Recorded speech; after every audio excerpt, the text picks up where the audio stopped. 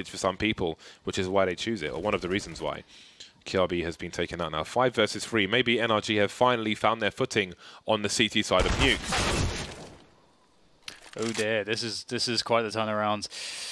No one dying. Valde now trying to get his way out there. He's going to take down Brehze. What else can he find? Oh man, he's just so good, isn't he? Valde's going to get a plant, a one versus three situation off of the back of this, and he's looking to try to see if he can bend out another 1v1. He's got time to play with.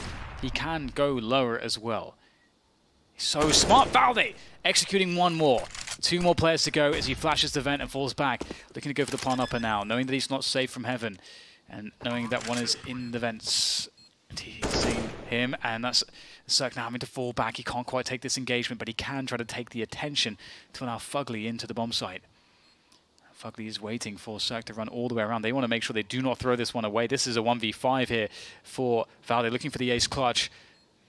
As that bomb ticks further and further closer to detonation, Valde with another P kick. Another headshot from Valde. He's perfect so far. One more player to go. He hasn't taken any damage. My God, Valde is an absolute god. One versus five. Ace clutch for North to bring it 13 to 13 and crush the money again.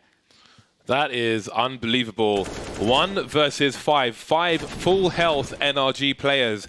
Valde, an absolute beast. Such fantastic decision making. I think this is a great replay.